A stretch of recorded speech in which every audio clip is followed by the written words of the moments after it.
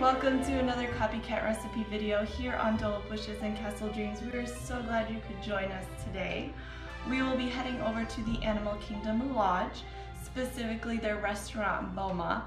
If you have never eaten there before, you need to try it. Their food is amazing. In fact, I think this is the second copycat recipe we've done from there because their food is just so good and I know it won't be our last.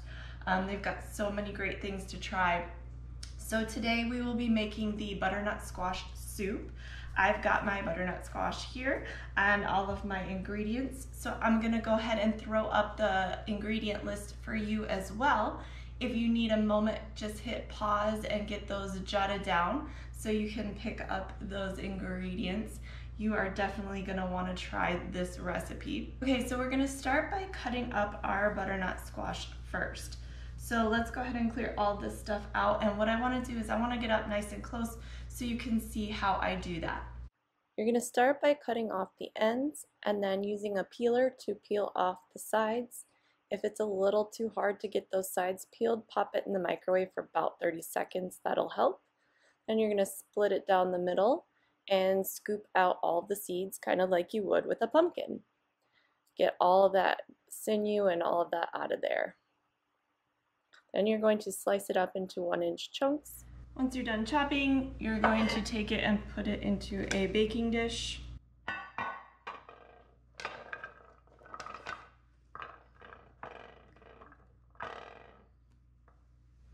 Okay, so I've got it in my glass baking dish. I've melted my butter. I'm gonna go ahead and just drench that on over my pieces. Okay. And then I'm going to add my salt and pepper. Just on over the top there. Whatever looks good to you. Okay, and then I'm going to pop this into the oven for about 45 minutes at 325 degrees until it's nice and soft and cooked all the way through.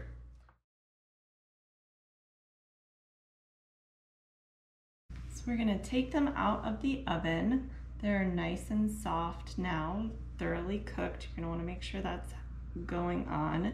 And then we are going to put them into our blender so we can go ahead and puree them.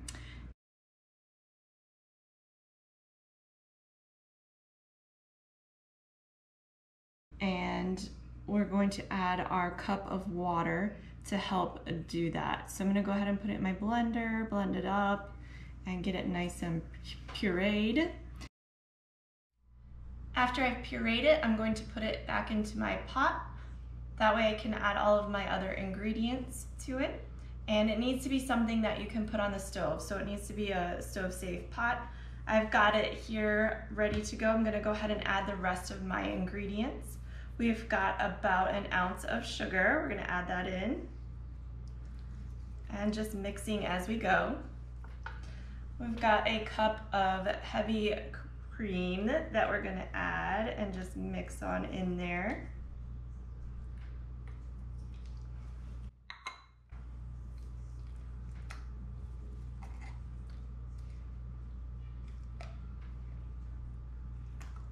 And then our regular milk, we've got a cup of that as well.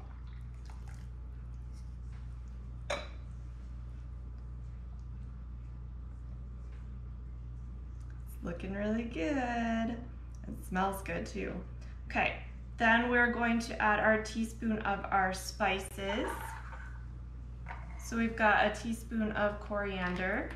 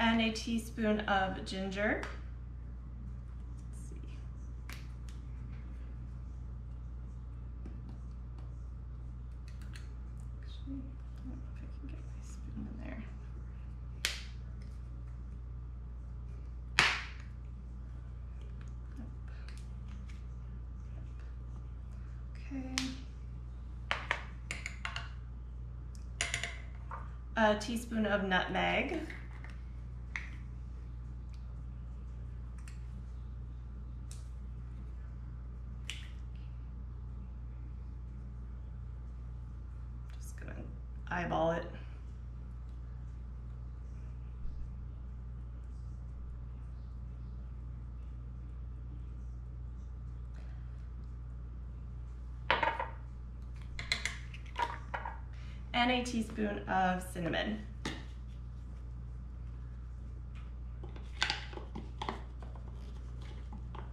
Now, of course, if you want to add more or less of any of these, that is up to you. Whatever seasoning sounds good, go ahead and do that.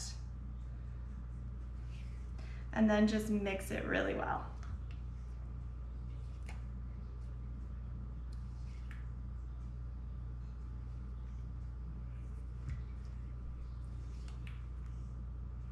You could even do this part in your blender if you want. That's fine, but I wanted to do it in my pot so you could see me add all the goodies. Okay, and then two more things and we will be done. The next thing you wanna do is what's called a slurry. So what a slurry is, is it's cornstarch. Um, I've got a tablespoon here and then water, I've got a tablespoon of that as well. And I'm gonna mix it together and I'm just going to create almost like a little paste, okay, in my little bowl. And I need to do this separately so it does form the paste first. And then I'm gonna add that to my soup. And what this is, it's called a thickening agent, which just means that it's gonna help make my soup a little bit thicker. Right now it's a little runny, um, but that's okay because this is gonna help thicken it up. So I'm gonna go ahead and put that in there. And then I'm going to take it over to my stove and just heat it up for a little bit and have my last ingredient. Um, if it's not thickening up the way that you like, you can make a little bit more of that slurry. Um, just whatever amount of cornstarch you use. So like I said, I used a tablespoon. Um, just use that same amount of water and stir it really well. Um, and then you can keep adding it to your soup. But just remember as it heats too, it's gonna thicken up. So add a little at a time and let it heat and then see if it's where you want it to be. So and last we're gonna add our sprinkling of pixie dust, which is just a little something extra we like to add to each of our recipes. Kind of like Disney adds a little bit of magic to all of our lives. Today we are doing shredded American cheese. You can get just like a block of cheese, that's fine, or pre-shredded cheese. Um, this is a little bit special because I hand shred it, which makes it melt a little bit better. I don't know if you know this, but the pre-shredded stuff in the stores actually has a coagulant agent in it that makes it not melt as neatly as if you were to say just buy regular block of cheese and shred it yourself. So our sprinkling of pixie dust is that.